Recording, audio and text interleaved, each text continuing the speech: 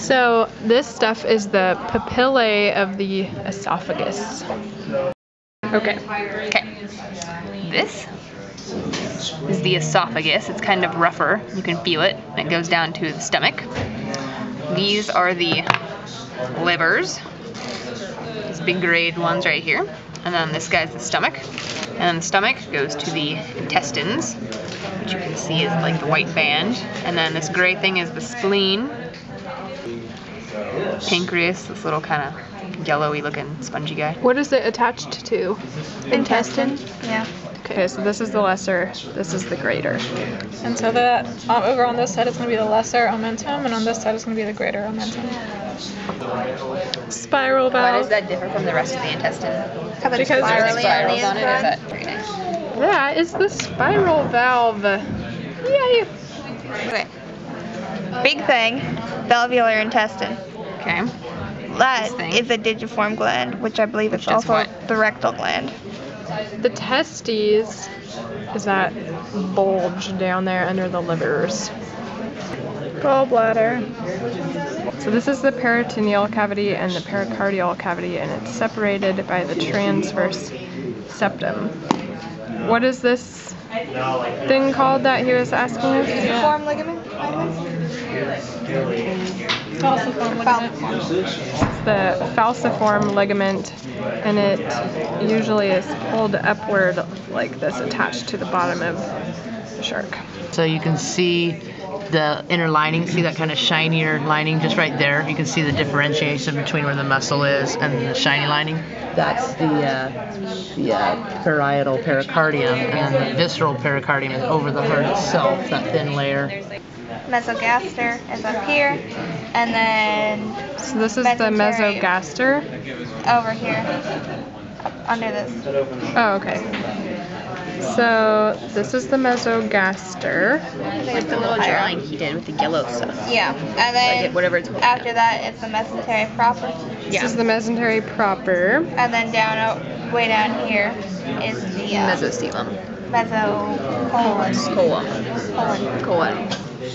So up into your stomach, which is like, looks like, oops, ends right about here, approximately.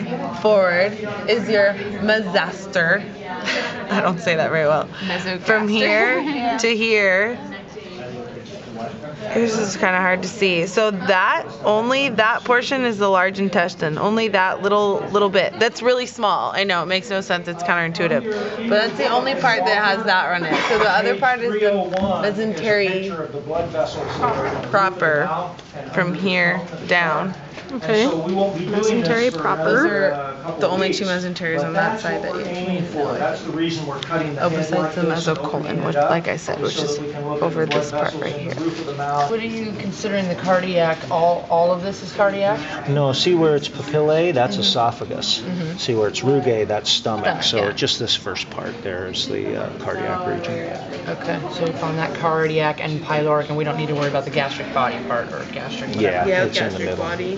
This is the cardiac region up here, and then down here is the um, pyloric region, and then these little uh, struts are called rugae. Rugae.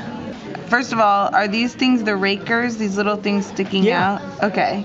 So then what's and then the lamella is this internal these like little. Yeah, those little gray things. Okay. So then branchial arch and gill rays. The Okay, rays. so uh, gill arch, right? Gill branch, branchial arch is a gill arch, and so that's the cartilage that forms the arch. So you cut right through it right there. I can see that Oh, round thing. so it was kind of like It comes all the way up from uh, from top, in, in this case, top to bottom. cartilage that I cut through, yeah. And then the gill rays. And so these little things radiate outward. Thought those are the lamella. And well, those are the gill lamellae, but there's little um, pieces of cartilage that radiate outward as well. So rays are So on the test, if the you rays, pointed yeah, to that, what would we say? Would we say lamellae or You'd have to specify cartilage. Yeah, if you scraped off the lamellae, you'd see the little gill Oh. rays. In fact, if you look at the um, uh, in our Componac cabinet, we've got some pictures of the uh, cartilage of the uh, branchial basket. and so you can actually look at it without the gills and without the skin and without all that stuff on it. Oh. Can't really scrape it off that well, I guess. So it's like under the lamellae? then? Yeah, yeah, it's supporting the lamella is basically what it is. That's the bile duct right there. Yeah.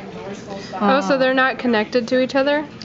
The gall, the base of the gallbladder here is connected to the bile duct, yes. Oh, okay, okay. That's the uh, mandibular adductor, and each branchial arch also has an adductor, but it's tiny. And so the muscle would be right next to the uh, um, cartilaginous arch. So there's the cartilaginous arch, and there's the adductor muscle right there. Yeah. See, interbranchial muscles, those are going to be. Um, those are going to be out here in Yeah. the septum, and so they're underneath this, where the gill rays are. There's going to be muscles connecting the gill rays together, but those are just nothing you're going to see. It's just something you know is there.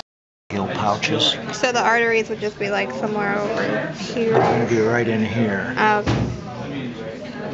So did you Gas see the exchange picture of takes place in the the gill pouches.